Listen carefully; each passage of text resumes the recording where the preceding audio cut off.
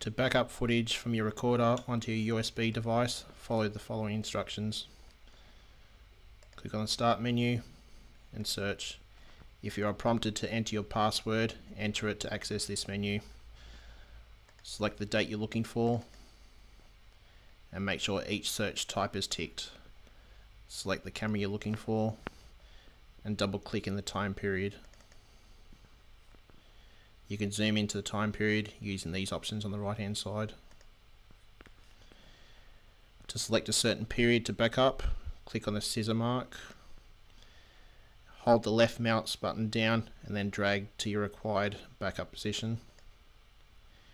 Then click the save button. Select either AVI or MP4. Select save. Make sure that you have your USB device connected to your recorder. To back up, click OK. Once complete, the message will appear.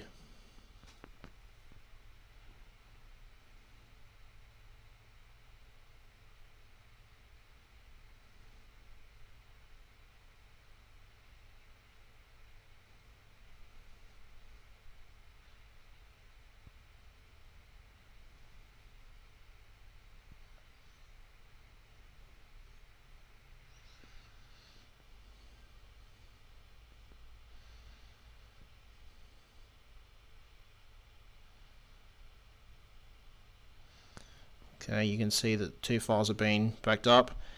To confirm that these videos work, uh, disconnect the USB drive from the recorder and connect it to a Windows laptop and test it.